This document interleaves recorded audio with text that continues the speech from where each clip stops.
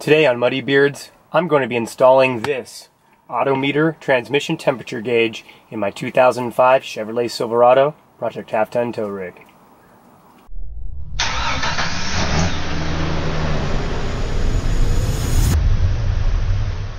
Alright, well if you've been watching the channel then you know that I've been doing a series of videos on my 2005 Chevrolet Silverado. It is a 1500 half ton and I've been making some videos just on some work that I'm doing to make it a more reliable and better performing tow rig. And in the last video, um, I installed a higher capacity all aluminum transmission pan. And I installed a larger transmission cooler. So really the idea was is to make sure that my transmission temps were staying cool, especially while towing my Jeep to the trail. So um, really the next step is is to install a transmission temperature gauge. Um, these trucks do not come factory uh, equipped with one and so I'm going to be installing one today so that I can actually monitor my transmission temperatures. And so the first thing I'm going to need to do is get underneath the truck and install the sending unit. Okay, so underneath the truck is where I'm going to be installing the actual sending unit into the transmission. Um, the sending unit just looks like this.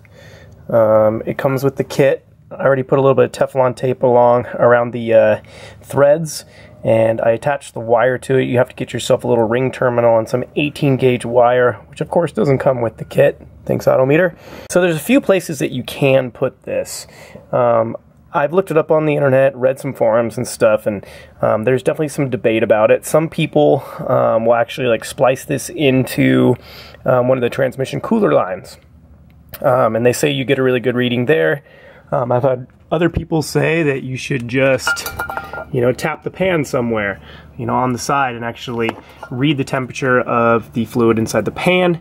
However, other people say that there is a, and I can't really get the camera in here at all to see it, but if you look at the linkage, um, where all the linkage and stuff goes in, right here on the transmission, just right above it, where my finger is, up here, there is a, I believe it's called the transmission um, pressure port. Um, that just has a 12 millimeter bolt in it, or 12 millimeter uh, bolt head in it, and you can unbolt that and um, it's threaded MPT already and I can just put the sending unit straight in there. Um, so I'm gonna go ahead and use that port. Um, and I guess the theory behind that is, is that you're actually plugging it directly into the internals of the transmission. And so you're reading you know the working temperature of the internal of the transmission. So not the temperature of the fluid in the pan not the temperature of the fluid in the lines but actually the temperature of the fluid um, in the transmission itself. So I'm gonna go ahead and just get a socket and a, and a ratchet up there. It's kind of hard to get to. And then I'm gonna thread in the uh, sending unit. All right, now with the sending unit in, um, I ran the single wire. The sending unit just has one wire. I actually just zip tied it. I ran it all the way up the um, wiring harness for the transmission and I was able to, I don't know if you can see it there, but I was able to pull it all the way up into the cab just following that uh, wiring harness. And then I just kind of tucked it back behind the insulation and ran it across here to the firewall. And I was able to put it inside the, uh, the grommet here where the main wiring harness goes in. And that leads inside um, the truck.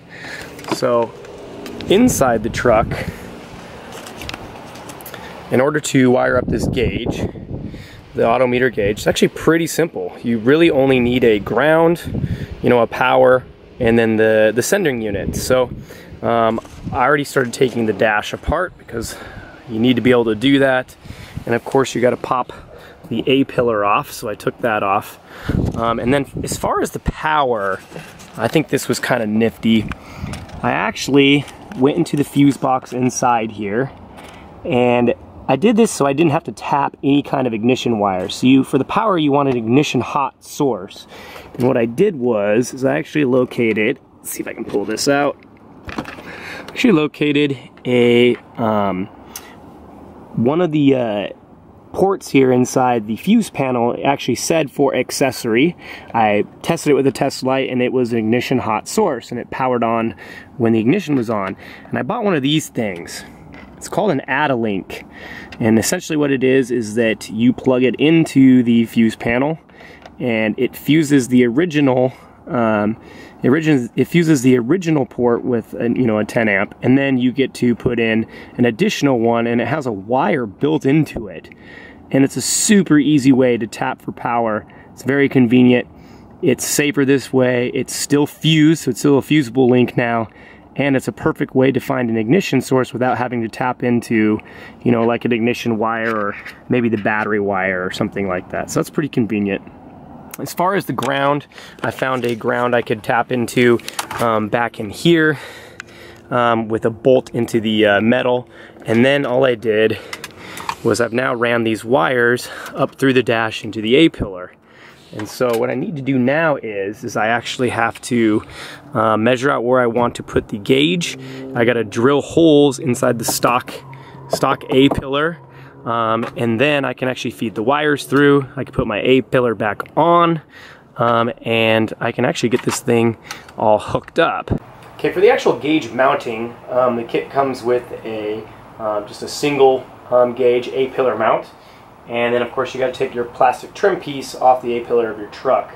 Um, when it was still in the truck, I, I uh, test fitted it to make sure to see where I wanted it, and then I marked it. And so for actual installation, um, what the instructions say to do is you need a 3 16 drill bit, um, and then you got to drill four holes in the actual gauge mount and your trim piece so that you can actually put these little uh, black plastic clips in. These little clips actually hold the mount into your factory trim so that you can mount the gauge in it. So I'm going to go ahead and get those holes drilled on the uh, mount first and then I'll line it up on here, mark it, and drill the holes for this so I can actually get this mounted.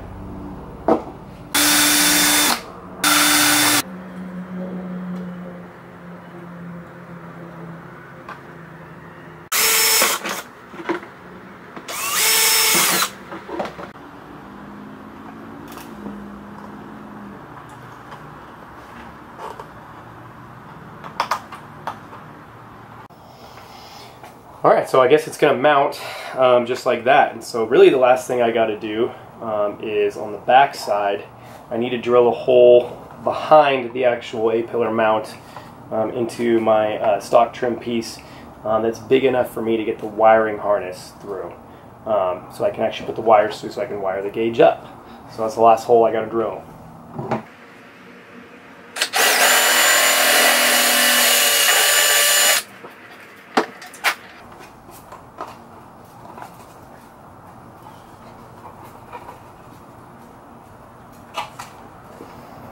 All right, so I got the holes drilled, got the uh, gauge uh, mount mounted into my trim piece here on the A-pillar. And the last thing I really need to do is wire up the actual headlight for the gauge.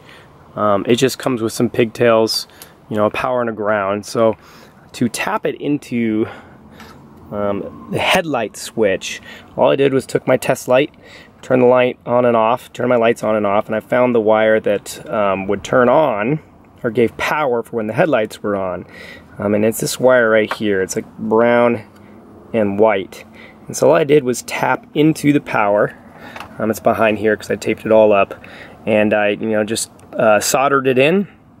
Um, and then I just found the same ground that I used for the grounding the, the uh, gauge. I ground the light too. And so now, whenever I turn the switch on, hey, the headlight works, or the little gauge light works. So really, all I have left to do, you see I kind of got my mess of wires here, but I got to pull the wires through the hole I drilled. Um, I'll get my gauge actually pushed in there and hooked up.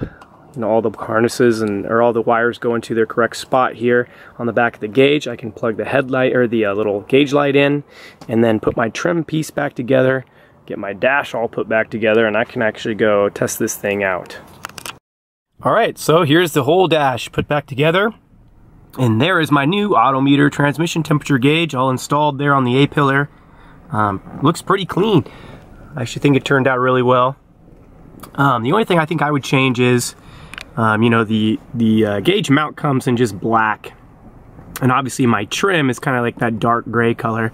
I know you can go to paint, like auto paint stores and um, probably get some color match paint, which I may still do later, but for now I think it looks pretty good. And so I've been driving around town today, um, actually quite a bit, and uh, you can see there the temperature is right around 160. Um, it is a 67 degree day, so um, not real warm out, but uh, you know that's kind of like right on the low end of kind of normal operation operating temperature for these things from what I've read on the internet. So um, it looks like my modifications are keeping it cool, and now I have a really good way to actually monitor my transmission temperatures. Thank you for tuning into Muddy Beards. If you liked the video and it was helpful, please give us a thumbs up, and uh, you should click the subscribe button below. Check out some of our other stuff. Um, check out Project Half Ton Tow Rig playlist, and you can see all the modifications that I'm doing um, to make this thing a more reliable and better performing tow rig. Um, so thank you for watching, and uh, we'll see you on the trail.